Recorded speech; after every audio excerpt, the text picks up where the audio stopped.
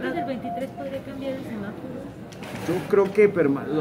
este, porcentaje de ocupación hospitalaria, la tasa de talidad de ventiladores ocupados nos da para mantenernos hasta el 23, pero yo creo que después del 23 no será posible, todo es probable y posible, pero no, no será posible seguir en verde dado el comportamiento que existía a nivel mundial. Particularmente el país está empezando por los estados del norte, pero sigue avanzando hacia el centro y sur y creo que para fines de mes es muy probable que los estados que estamos en la región centro y sur del país estemos ya en semáforo amarillo, algunos hasta en naranja. De mil ventiladores que tenemos en el estado, 71 están ocupados porque 71 son de todas las dependencias, IMSS, PMCENA y hospitales privados que tienen la capacidad de tener pacientes COVID y que nos están reportando. Son 71 pacientes.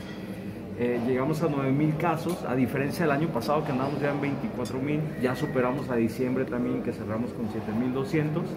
Eh, se ha incrementado el número de casos, la mayoría de ellos han ameritado solo manejo ambulatorio y un porcentaje menor es de hospitalización o intubación o, o de funciones, que sigue siendo lamentable que haya defunciones,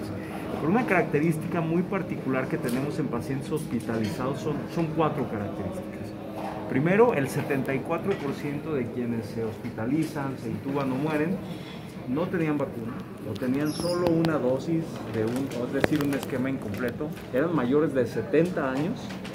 y tenían factores de riesgo, hipertensión, diabetes, obesidad mórbida, este, antecedente de enfermedad pulmonar obstructiva crónica o cardíaca, ¿verdad?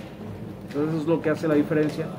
Justo ayer cumplimos un año de la aplicación de las vacunas, ya llevamos 7.150.000 dosis aplicadas hasta ahorita y eso ha hecho una gran diferencia. Sin embargo, el mensaje que nosotros seguiremos enviando ante el comportamiento que estamos conociendo de Omicron es que es exponencial, este, por eso hay que seguirse cuidando.